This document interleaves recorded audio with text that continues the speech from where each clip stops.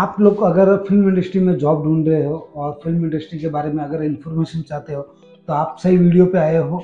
और अगर आप लोग को सही में जॉब की ज़रूरत है और फ़िल्म इंडस्ट्री में एंट्री करना चाहते हो तो ये वीडियो को पूरा देखिएगा तो ही आप लोग को समझ में आएगा, वरना समझ में नहीं आएगा। ठीक है ना तो चलिए, आज की ये वीडियो शुरू करते हैं। तो फ़िल्म इंडस्ट्री में काम करने के लिए तीन तरीके हैं, जो कि आप अपना सकते हो, तीनों तरीके में से कोई भी।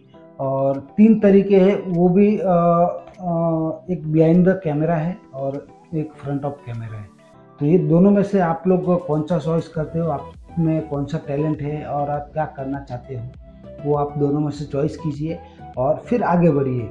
चलिए आगे बढ़ते हैं। तो आपको मैंने दो तरीके बता दिए एक तो बिहाइंड द कैमरा और एक फ्रंट ऑफ़ कैमरा तो चलिए आज हम बात करते हैं फ्रंट ऑफ़ कैमरा में क्या क्या काम होता है ठीक है ना? तो फ्रंट ऑफ़ कैमरा में अगर आपके पास टैलेंट है तो आप एक्टिंग कर सकते हो। अगर आपको एक्टिंग आती है तो अगर एक्टिंग नहीं आती है तो आप बैकग्राउंड आर्टिस्ट का काम कर सकते हो।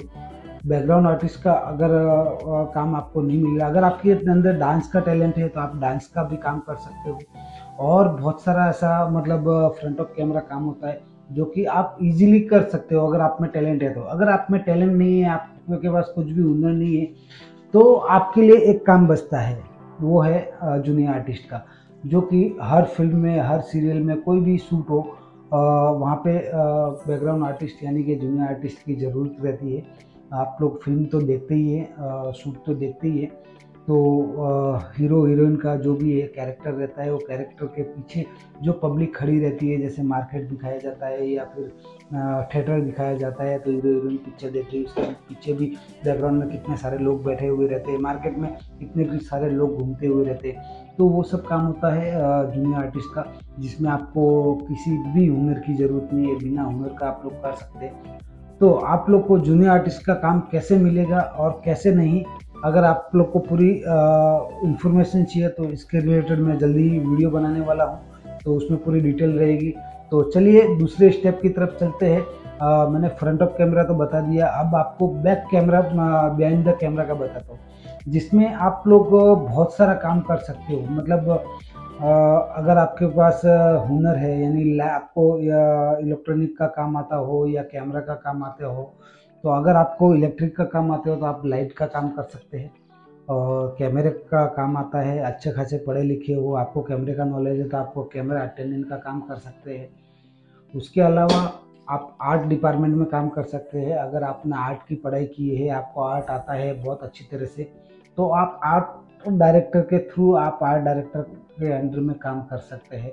उसमें भी अच्छी खासी आपको पोस्ट मिलेगी। आपका खाली आपको टैलेंट दिखाना है, ठीक है ना? आपके पास जो टैलेंट है, वो टैलेंट दिखाना है। उसके बाद बचता है एक और काम जो कि बहुत हार्ड वर्किंग है। आपको जो लाइट का काम बताया है, वो भी हार्ड वर्किंग है। बट उसमें आपको स्टेप बाय स्टेप और आगे बढ़ने का चांस मिल जाता है। जैसे कि सिनेमाटोग्राफर रहता है। कैमरा मैन डी रहते हैं तो उनके अंदर काम करने को मिल जाता है, स्टेप बाय स्टेप उसमें आगे बढ़ने को चांस मिल जाता है।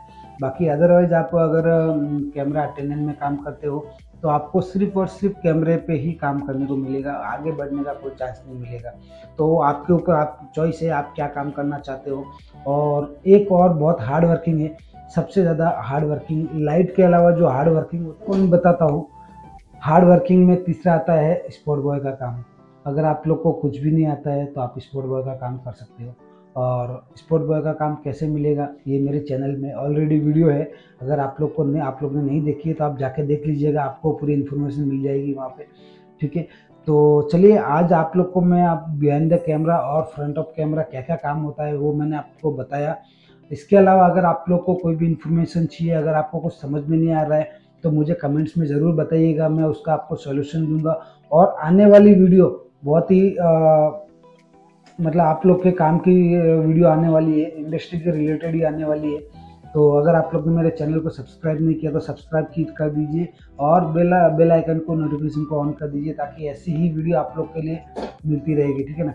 तो चलिए मिलते हैं जल्दी ही नेक्स्ट वीडियो में, तब तक के लिए बाय बाय टेक केयर